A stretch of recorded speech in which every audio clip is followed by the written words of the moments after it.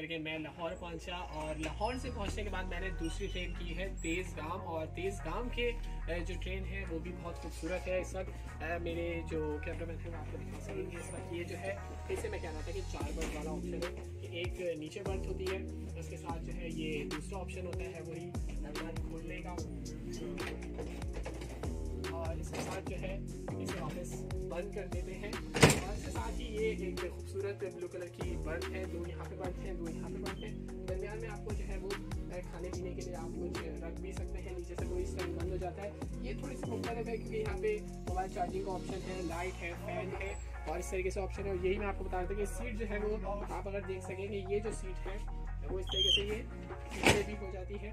और इसको आप निकालेंगे तो ये इतनी बड़ी भी हो जाती है इसमें आसानी से दो लोग सफ़र करके सो सकते हैं। और हमने जो लिया है वो सी है, आपको याद रहेगा कि ये सी है और इसके साथ ही जो है ए और बी जो है, उसमें दो दो का ऑप्शन होता है, जबकि ई और एफ़ जो है, उसमें भी दो दो का ऑप्शन है। लेकिन सी और डी में जो मैं आपको बता रहा था कि चार ऑप्शन है, जैसे कि ये ए है, इसमें दो ही सीट्स हैं, नीचे एक बर्थ है, एक ऊपर है। और इसके साथ ही जो है हम आपको ट्रेन से तो फ़िलहाल हम बाहर पहुँच रहे हैं, क्योंकि हम रावलपिंडी पहुँच चुके हैं।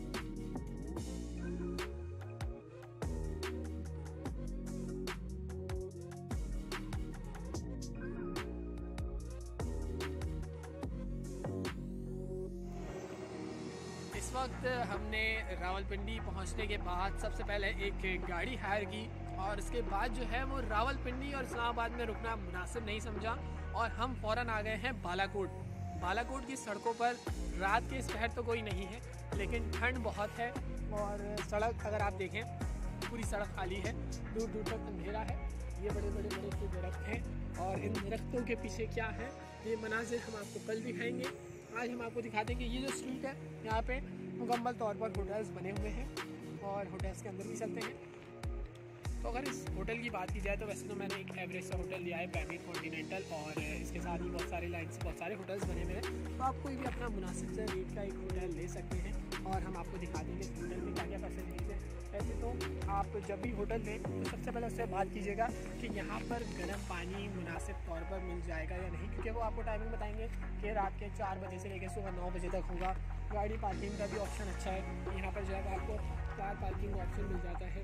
हाईएस्ट में भी लोग आते हैं और इसके साथ ही जो है यहाँ पर सेटिंग में अरेंजमेंट भी है। उसके साथ अगर फ़र्स्ट फ्लोर की बात की जाए तो फ़र्स्ट फ्लोर पर जो है वो सारे रूम बने हुए हैं। ग्राउंड फ्लोर पर भी रूम बने हुए हैं। वाईफाई की फैसिलिटी अवेलेबल है और इसके साथ ही सबसे वो हम आपको दिखाते हैं, लेकिन उसके लिए हमें आपके साथ एक्सपीरियंस करके दूसरी गाड़ी जाना पड़ेगा क्योंकि मेरा जो रूम है, उसको जैसे ही ओपन किया जाए तो उसके बाहर जो है, एक ज़बरदस्त सा व्यू है तो हम आपको दिखाते हैं।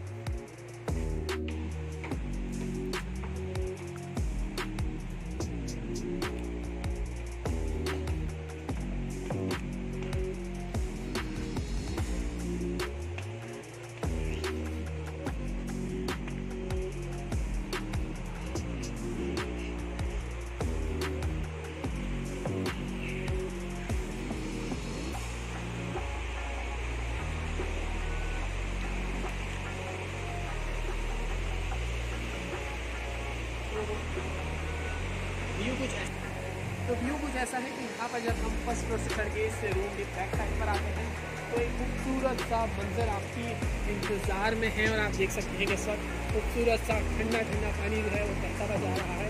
खूबसूरत है, सामने जो है वो बड़े बड़े से दरख्त हैं, पहाड़ हैं और दूर से अगर आपको सुबह में आप आएँगे तो ये व्यू बहुत अच्छा होगा। इसीलिए ये होटल को पसंद किया गया है मैंने और हम यहाँ पे स्टे कर रहे हैं। तो वैसे तो ये व्यू बहुत खूबसूरत है और इस वक्त यहाँ पे पेड़ भी हैं, ऊपर जाएँगे तो छत है, लेकिन हम आपको सुबह दिखाएँगे कि सुबह कैसा व्यू है, जब तक के लिए अल्लाह